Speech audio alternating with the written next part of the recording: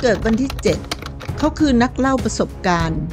ดังนั้นเขาจะเป็นคนที่แสวงหาประสบการณ์ในด้านต่างๆ แต่เขาก็ไม่ได้เป็นคนลุ่มหลงอะไรง่ายๆ ตามปกติเขาจะเป็นคนที่มีศีลธรรมมีเมตตา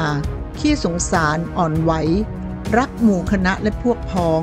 หากได้รับมอบหมายให้ทำงานเพื่อหมู่คณะแล้ว เขาจะทำงานที่ได้รับมอบหมายจนสุดชีวิตเลยทีเดียว แต่ในเรื่องความรัก เขากลับเป็นคนที่ไม่อิ่มรัก มีความรักที่มากพอที่จะแจกให้กับใครได้ง่าย ๆ โดยไม่จบสิ้น แต่เขากลับไม่ชอบให้คนรักของเขาหลายใจ ชอบให้คนรักรักแต่เขาเพียงคนเดียวเท่านั้น